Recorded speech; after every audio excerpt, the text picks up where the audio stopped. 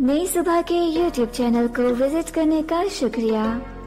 मजीद मालूमती मवाद के लिए सब्सक्राइब कीजिए हमारा YouTube चैनल या विज़िट कीजिए हमारी website www.naisubha.org n a i s u b a h dot o r g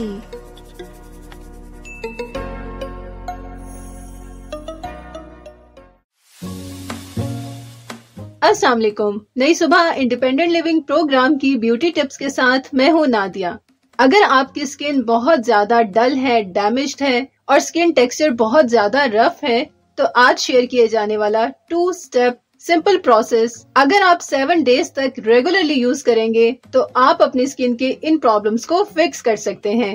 step number one cleansing अगर आप मेकअप का यूज़ ओकेजनली करते हैं तो आप स्टेप वन में सिर्फ़ फेस वॉश के इस्तेमाल से अपने फेस को क्लीन करेंगे। लेकिन अगर मेकअप का इस्तेमाल आपकी डेली रूटीन का हिस्सा है तो आप स्टेप वन में डबल क्लिनजिंग करेंगे। और इसके लिए आप सबसे पहले कोई सा भी oil olive oil almond oil या कैस्टर ऑयल ले सकते हैं और इनके चंद ड्रॉप्स अपने हाथ पर डालें और इसके बाद अपने फेस पर अच्छी तरह मसाज करें। तीन से चार मिनट के मसाज के बाद आप किसी भी नरम कपड़े को पानी में डिप करके अपने फेस को क्लीन कर लें और इसके बाद फेस वॉश के इस्तेमाल से अपने फेस को अच्छी तरह से वॉश कर लें। डबल क्लिनजिंग प्रोसेस कंप्लीट है। Step number two application of mask mask बनाने के लिए सबसे पहले एक स्मॉल बोल लें और इसके अंदर वन टेबल स्पून बेसन शामिल कर दें। इसके बाद इस बेसन में वन टेबल स्पून दही और वन टीस्पून हनी शामिल कर दें।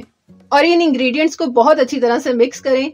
और एक स्मूथ सा पेस्ट बना लें। अगर ये पेस्ट बहुत ज़्यादा थिक हो तो आप इसमें थोड़ा सा और दही भी शामिल कर सकते हैं।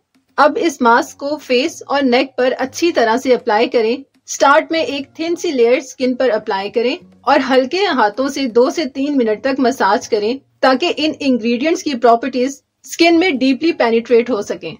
इसके बाद इस पेस्ट की एक थिक लेयर अपने फेस और नेक पर अप्लाई करें और 10 मिनट तक रहने दें। इस मास्क को स्किन पर कम्प्लीटली ड्राई नहीं करना, बल्कि 70 टू 80 परसेंट तक जब मास्क ड्राई हो जाए और हल्का हल्का सा गीला भी हो तो एक नरम सा कपड़ा लें और पानी में डिप करके अपने फेस और नेक को क्लीन करें। और सबसे आखिर में पानी से फेस को अच्छी तरह से वॉश कर लें ताकि बाकी लगा रह जाने वाला मास्क भी स्किन से क्लियर हो जाए। इसके बाद जब स्किन हल्की नम हो तो कोई सा भी मॉइस्चराइजर अप्लाई करें। और मॉइस्चराइजर अप्लाई करने के 10 से 15 मिनट के बाद स्किन पर अच्छी तरह से सनस्क्रीन अप्लाई करना ना भूलें। इस टू स्टेप प्रोसेस को आपने रेगुलरली सेवन डेज़ तक करना है। अगर आपकी स्किन सेंसिटिव है तो मास्क अप्लाई करने से पहले एक पैच टेस्ट ज़रूर कर लें और इसके बाद इस प्रोसेस को फॉलो करें। अगर आपकी स्किन बेसन के लिए कंफर्टेबल नहीं है तो आप बेसन की जगह मसूर दाल का पाउडर या आटा भी इस्तेमाल कर सकते हैं। अगर आप ये प्रोसेस रेगुलरली वन वीक तक करेंगे तो आपकी स्किन के तमाम प्रॉब्लम्स ना सिर्फ़ फिक्स हो जाएँगे, बल्कि आपकी स्किन टेक्सचर भी बहुत ज़्यादा इम्प्रूव हो जाएगा। ये तो थी आज की beauty tip till next time Allah निगेबान। ये मालूमती मवाद नई सुबह की जानब से पेश किया गया। अपनी आरा के इजहार के लिए कमेंट कीजिए या डिस्क्रिप्शन में दिए गए रबते के जराये इस्तेमाल कीजिए।